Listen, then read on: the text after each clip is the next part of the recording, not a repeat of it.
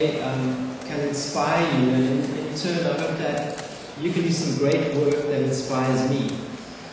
Uh, for those of you who don't know me, my name is Chris Garbutt, and I am the Executive Creative Director of um, Ogilvy Paris.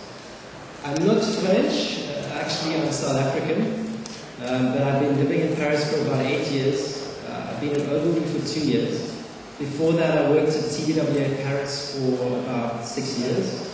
And previous to that, I was at TBWA Lascaris in Johannesburg. I've called my presentation In an Ideal World. And the reason is because I think if we do our jobs right, ideally what we set out to do will be effective. But when you look at the times today, it's a different world than it was five years ago. Things have changed dramatically. And I think if we don't contextualize our work within this new current situation we're in, we're not going to be as effective as we could be. So today is going to really be about that. It's going to be about some tips that I picked up along the way, some kind of work practices that we, we put into play in Paris. And also it's going to be talking about a new methodology that we're working with at the moment called the Big Ideal.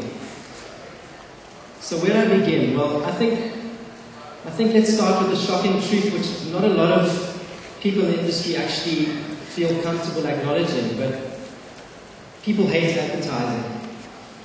And, and, and, this is true. I mean, I think we've created this perception ourselves um, through, through the last 20 years of work we've done.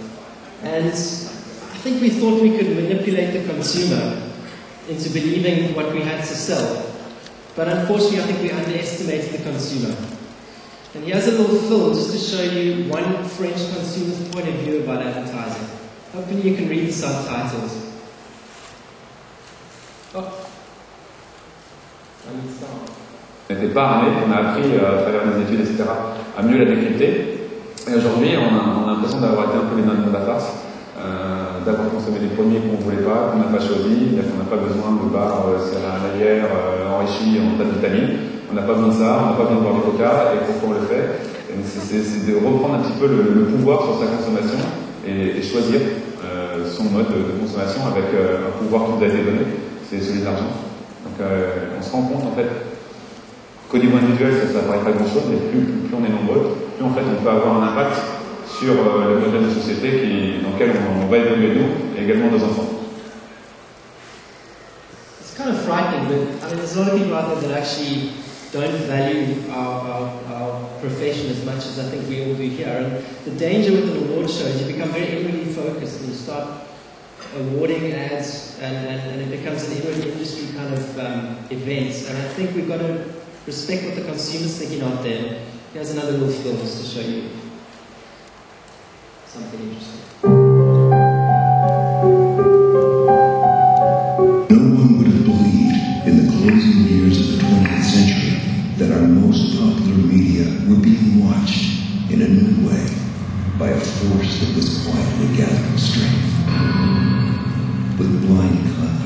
We considered them our own, our audience, our subscribers, our cuddling couch potatoes. With infinite complacency, we blithely segmented and sold them to advertisers. We learned to shape their habits, mold their desires, and give them the illusion of infinite choice. Yet from their side of the screen, with envious eyes, they studied us. Bit by bit, they learned and linked and drew their plans against us wielding weapons we ourselves provided. And then, early in the 21st century, came the great unraveling. We offered free choice, but all they heard was free. We devised more powerful, more complete, more feature-rich software, but they preferred to grow their own. They pounced and they logged and they blew the house down. The world we knew was forever disintermediated, whatever that means. They have tasted power, and there are a lot more of them than there our greatest minds prepare to respond. Well, uh, can't we just start blogging back at them? Oh, yeah, but where's the money in that?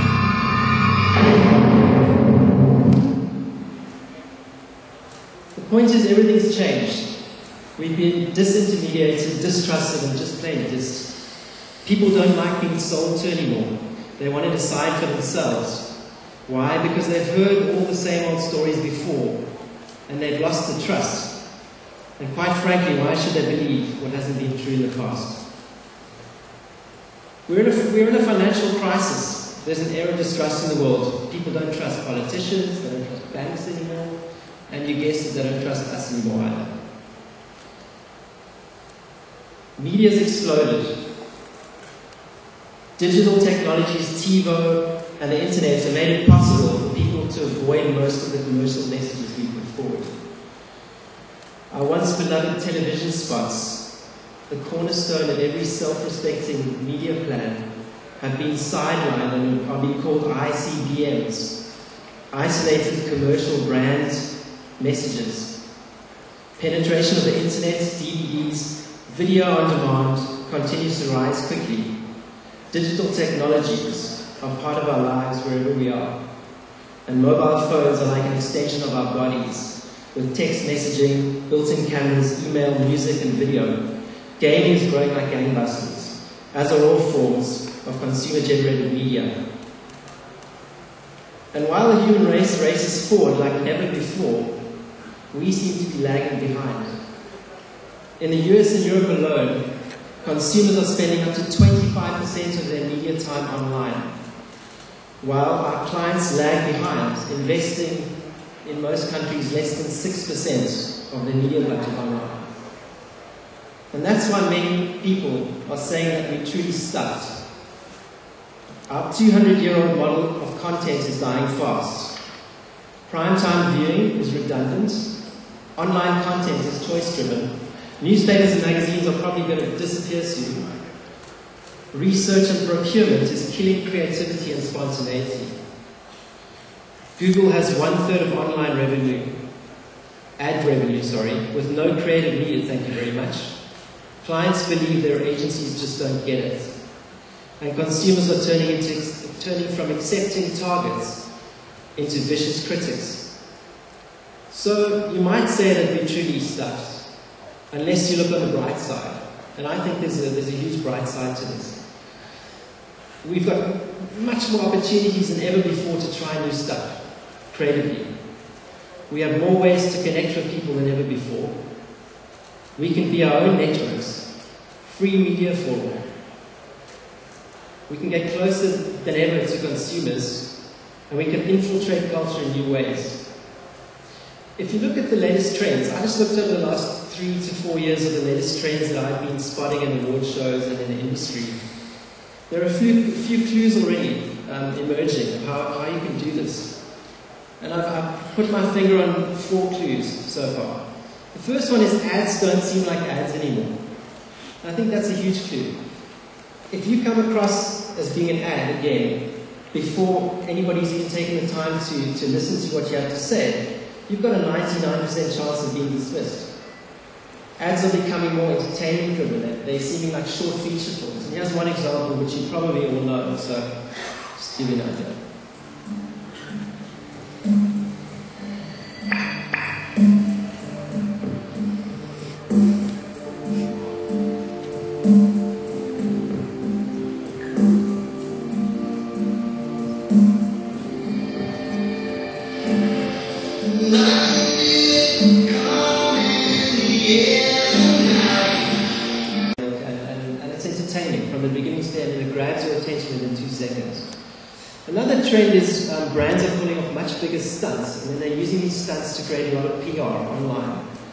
Free media from that.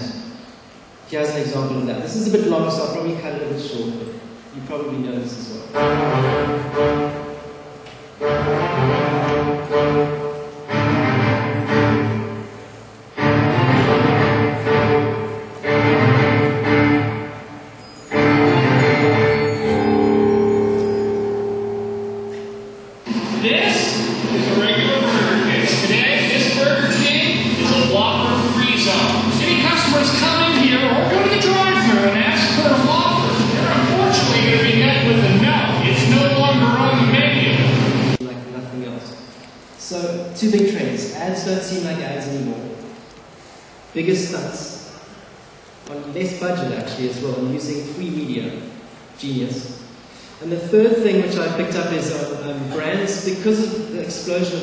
Are, are, are able to tell much deeper, richer stories, which is a huge, huge blessing for us. I mean, we've got, we're in a new age where we can start to tell stories. Gone are the days of being restricted by 30 seconds.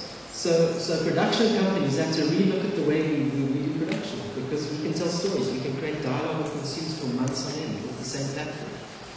Um, and this is a great example of that, HBO. This quality is really bad, excuse us. HBO wanted a piece of communication that said, we're the greatest storytellers in the world, and we're going to tell those stories not just in TV, but in a wide variety of mediums. So instead of creating a piece that just said those things, we created a media program that demonstrated those things. The program launched with street teams passing out curious invitations to a week-long summer evening New York event. These invitations directed people to the city's Lower East Side, where a short film was projected onto the side of a building. Using two high-def projectors, the film created the illusion that the side of the building had been removed, giving you a view into eight different apartments. A lot of brands are allying with consumers or with people by finding a common value or a common ideal. And this is what I want to talk about specifically today, a little bit later on. I'd like to share a couple of, um, in the last four, five, six years of my experience in advertising. I was at TBWA Paris and we had a, a theory there about advertising as an intruder. And as I said at the beginning of the presentation, people hate ads. 99% of ads on TV, on French TV, are, are, are like wallpaper. They're, they're so cliche. They fit into the same category safely because the name of the game is not taking risks. And there's very few marketing directors out there who actually are prepared to take risks.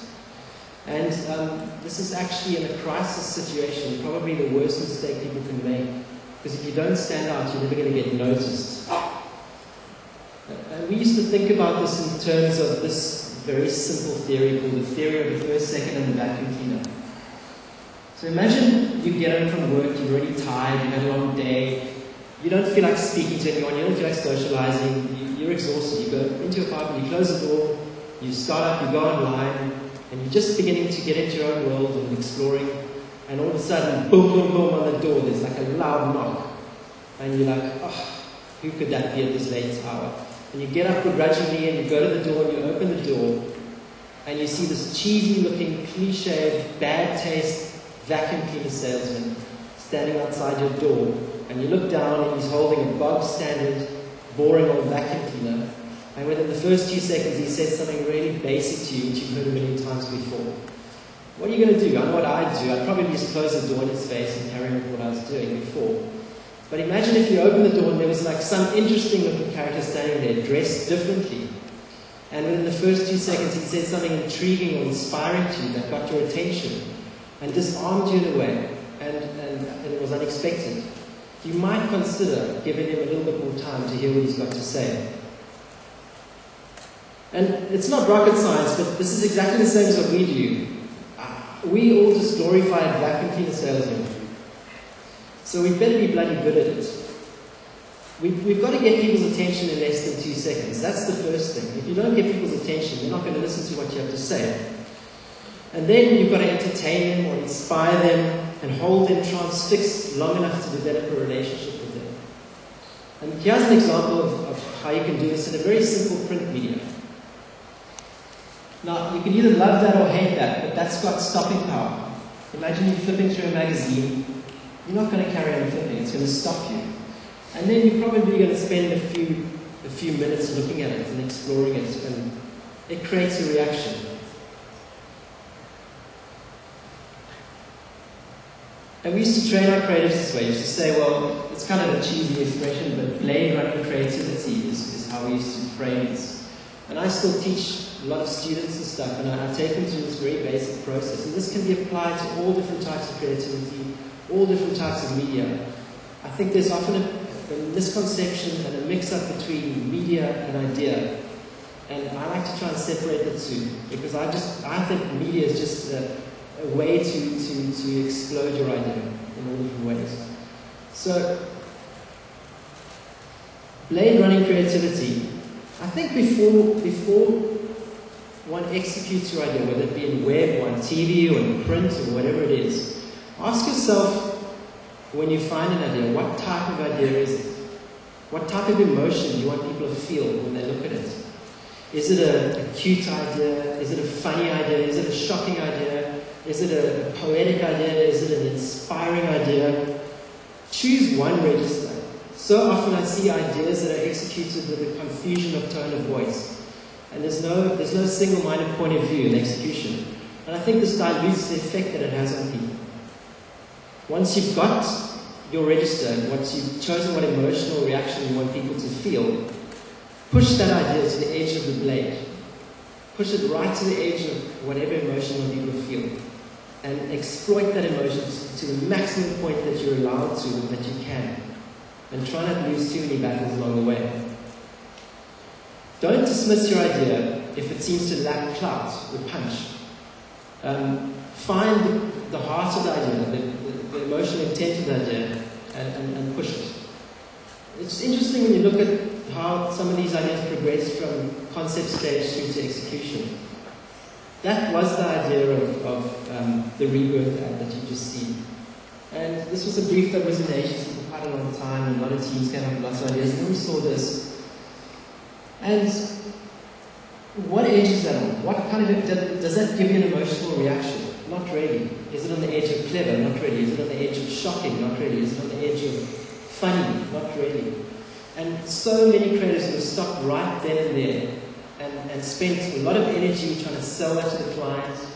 Then they would have gone into pre-production and then they spent ages trying to choose a photographer and a model maker. They probably would have prepped how to make the egg what colour to make the yolk, the casting of the guy. And quite honestly, it's a complete waste of time because if they spent maybe another half a day pushing the idea to the edge of shocking and clever, maybe they would have come up with something a little bit better. This is another idea that we, we were working on at PlayStation. And again, it, it, it's not that clever.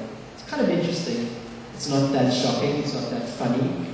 But when you really interrogate the idea and dig down deep beneath the surface, you find the heart of what's interesting about that. It's the subject of war mixed with PlayStation.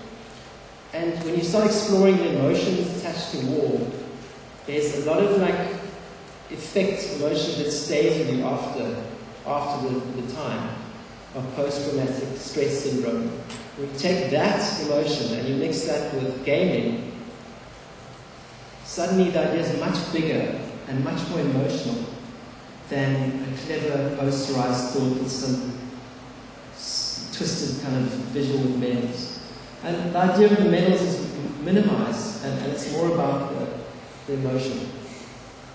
And when the French get emotion right, they truly get it right. And I think this is a beautiful example of really strong emotional advertising.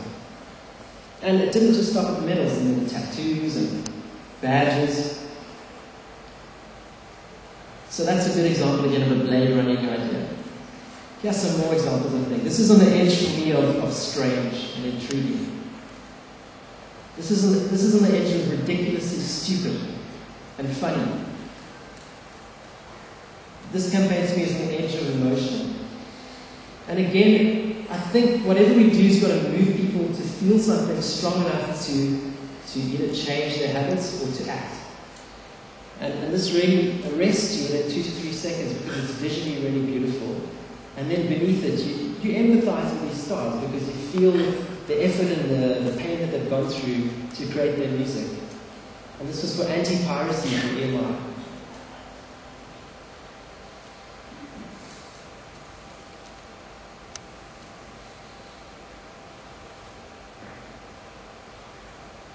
That's my favorite because I mean, you really do feel the pain of Joe Cocker's vocal cords. This was for Listen. Um, again, this is, uh, it says explore 4x4. I can't really read from that distance. But um, again, me, this is the edge of intriguing. Creating a new, new world out there that nobody's ever seen before. Encouraging people to go out and explore.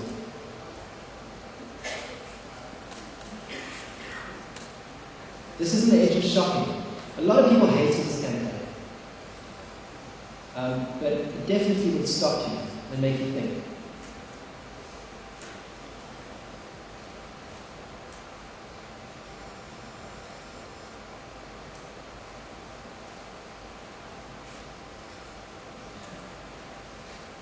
So this is one way of breaking through to people. It's kind of the first part of the theory of having ads that have stopping power.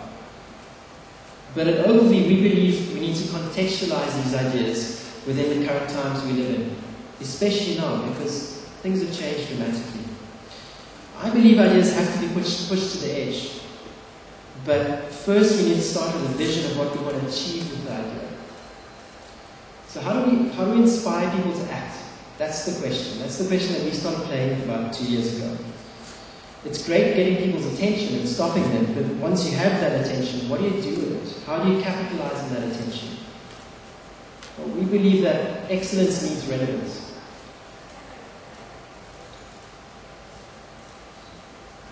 As previously mentioned, today's world is not what it was yesterday, and thankfully, this is wonderful news for all of us. Today, there are loads of new tensions and trends emerging because of the crisis, because of political change, because of lots of wars happening all over the place, and you know, there's a whole counter um, reaction to war, this movement of positivity on it. Um, and these trends and tensions are crying out to be used in our industry. Today, low, you know, society is also taking back the power. They, are tired of being spoken to. They want to speak with brand. They, they want to take part. They want to lead. They want to decide for themselves. And this, this to me is an amazing example of, of how people want to take part in something rather than receive something. It's a project that Gene did called the Bubble Project. Um, and it was a book that he created after he did it.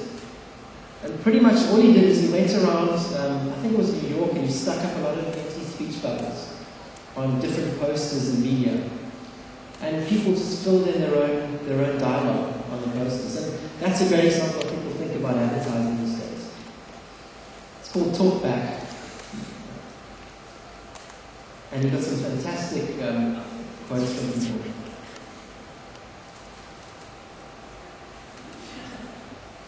I lost my battle to cancer.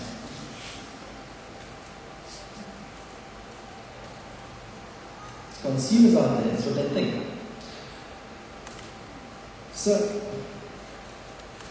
I think it's time that brands and advertisers started giving something back to people instead of stealing their precious time.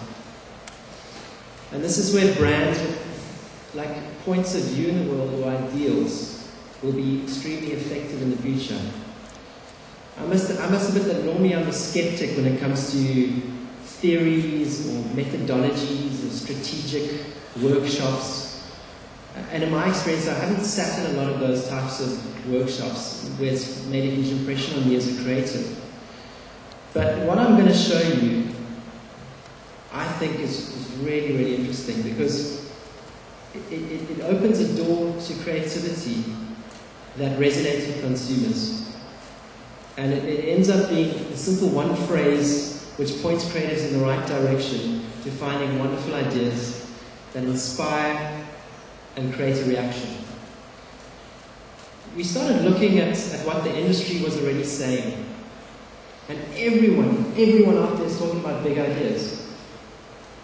You know, we, we did a survey of different home pages, and please don't take offense if any of you in the room are part of some of these agencies. It's just a, a study we did ideas and ideas, creative business ideas, idea centric, better ideas, return on ideas, big ideas, ideas that ignite the energy in brands. It, it's actually quite cliche, and everyone's talking about ideas. Even in the program of talks in the next two, three days, half of them are about ideas. Obviously, it's about ideas. But it's kind of ironic because we tell our clients that we should differentiate their brands. And meanwhile, the starting point for a lot of, a lot of uh, people out there is talking about big ideas. So we, we looked at, we didn't come up with a new concept as such. We looked at what was working out there in the market already and how people attach themselves to certain iconic brands. And we said, well, what's the difference between a big idea and what they're doing? And we took this and we just modernized it a little bit by adding an L. And we called it the big ideal. And it's, it's really, really simple in fact. How does it work? So, we trademarked it obviously. And this is how it works. Very basic, but you end up with something really, really tangible to work from. You look at the brand's best self, I the history of the brand, and the strengths of the brand. And then you look at a social, cultural, or a relevant intentional trend out there in, in society today that's relevant to the brand and to consumers for your target market. And then you cross the two the most powerful mix that you can make. And you come up with a big ideal for a brand.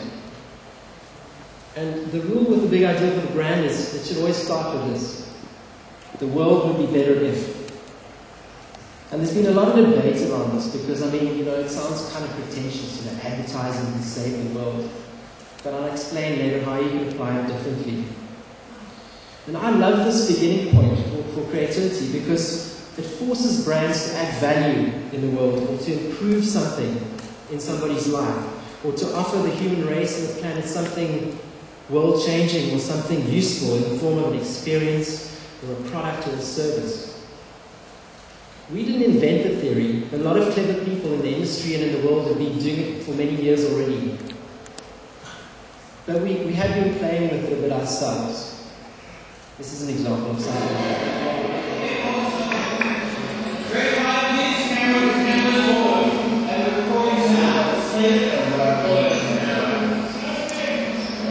best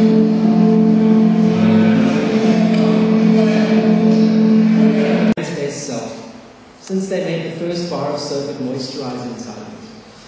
And I mean, there's a product effect when you use the soap that it makes your skin feel soft and it makes you feel feminine and beautiful at the same time as it's quite effective. So he said that best self was to help women defend their femininity. And then we looked at the socio-cultural tension, and there's some amazing stories about the research that they did around this, um, this campaign. That they got the marketing director's daughters in the room between the age of 5 and 15, and they interviewed them, and it was shockingly scary how many of these girls spoke about when they want to grow up, they want to get a facelift, they want to get a boob job, they want to become a supermodel. And um, there's a huge cultural tension of that uh, trend out there that a woman's self-esteem being challenged by the distortion of real beauty because of the level of beauty out there with fake intervention of Photoshop, retouching, and uh, and uh, the, the, the, image of, of, of what a supermodel is. So we took these two things, the brand's best self and social cultural tension, we mixed them together to create a big ideal. And the big ideal for Dove is the world would be better if women were allowed to feel good about themselves. Um, I mean, in France alone, I think 95% of women who read a magazine feel less beautiful by the time they've finished before they've started reading it. It's kind of scary. So iconic brands do this intuitively, I mean, there's a lot of brands out there that, that, are, that, are, that are really working this way intuitively, and great creators work this way intuitively too, because they feel it. Um, and for example, Apple's big ideal could be the world would be better if everyone's creative potential was free. Adidas, the world would be better if people went beyond their normal boundaries. Coca-Cola, the world would be better if we saw the glass half as half full, not half empty. And work like this is yields great, great creativity.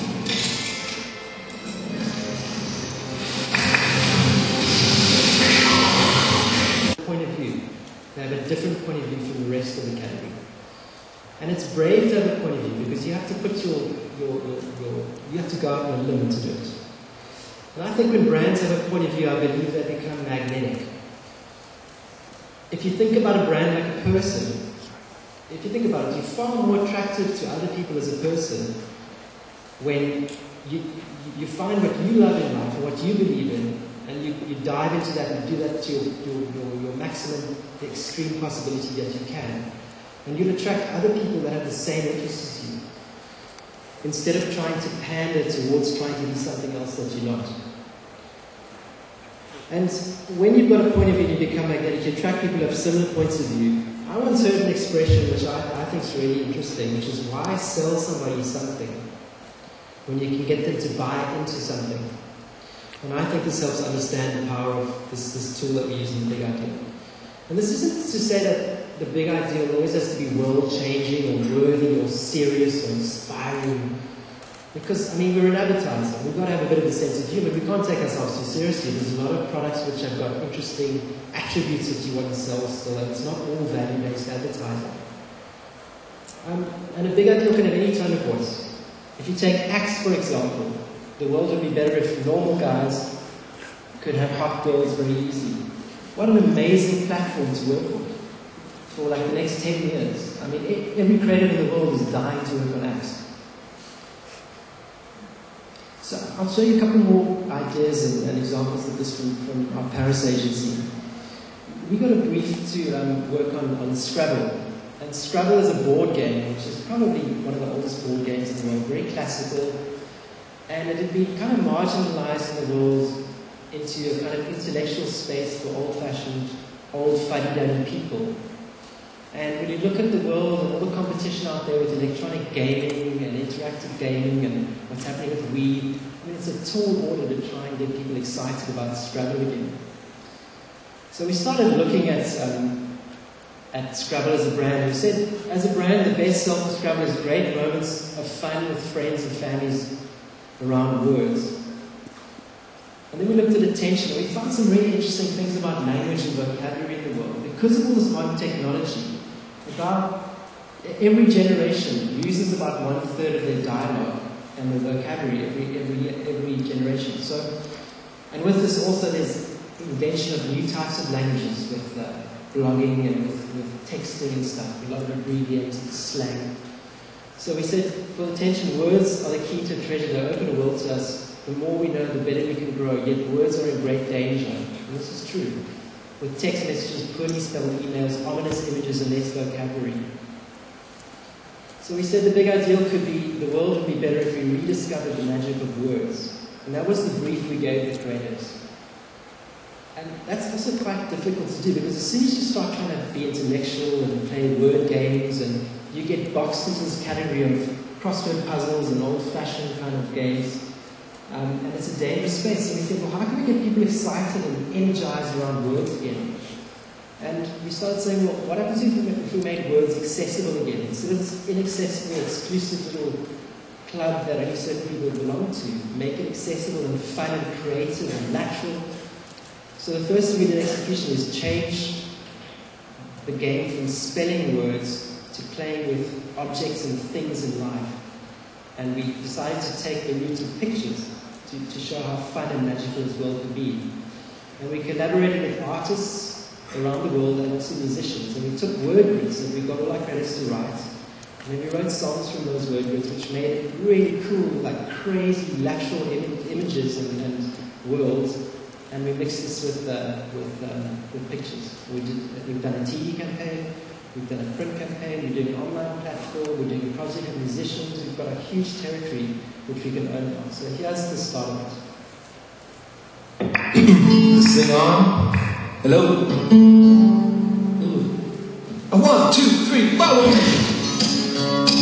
Where Sumo Joe meets a man who could finally put some dough in his hand. His wife is glad, his baby's sad. The spiders never had so bad. The red balloon is blowing. Glass to Timbuktu. Hoodlum boy and his brother Roy make you think you're seeing too. Whoa, mischief misses at it again as critters march toward two men. Mr. Acrobat spins hair blue, round and round in a of blue. Where a ram got lots of food to chew, and parachute man with the spray paint campaigns, rainbows on your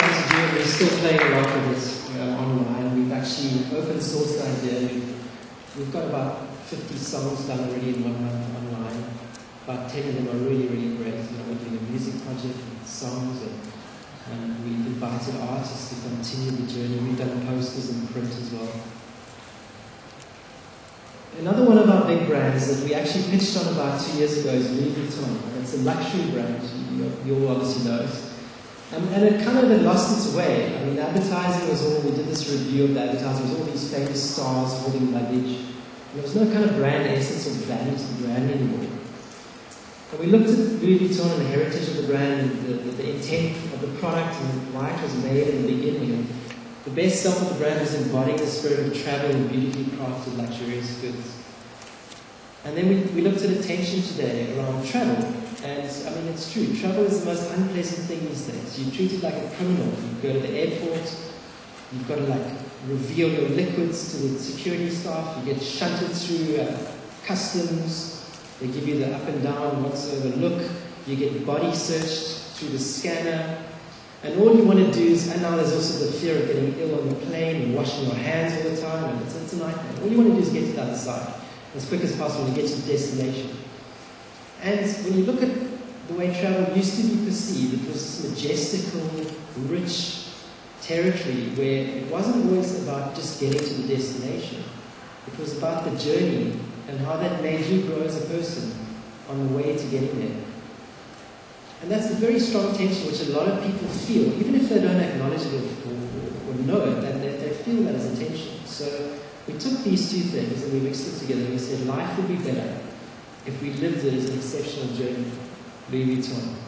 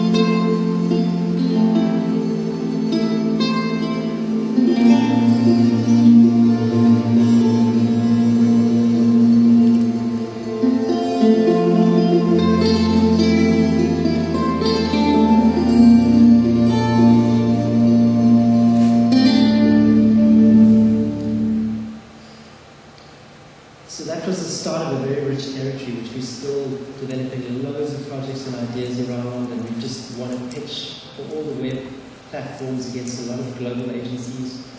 And it's because the idea and the big idea at the beginning was so strong that it, it's something that you can really work with for many, many years. We, did a whole lot of prints. Um, and this is all evolving to become one story now, we're starting to dive much more into deeper, richer stories as well. Um, I'm not going to show you that it's a case study of the web, but we've done a lot of web already. We just finished a project with the, the 25th anniversary of the landing on the moon. Um, Buzz Aldrin, Sally and Jim Lovell. And we created a whole web platform around that with a story around it, where you could watch their story from different points of view. Guidance release. 15, 14, 13,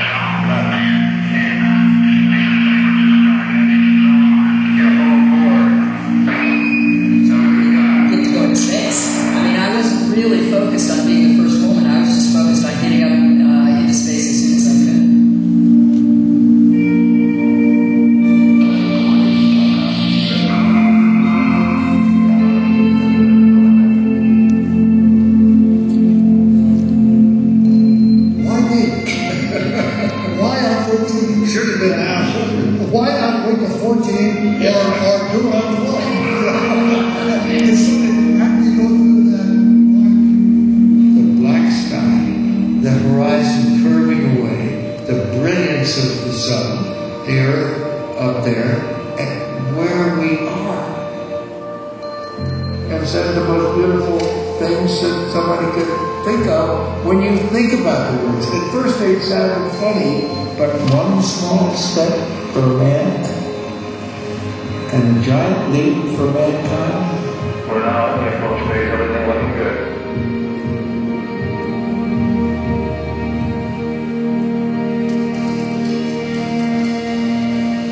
What did I know how to do? Be a spaceman. Think about the future.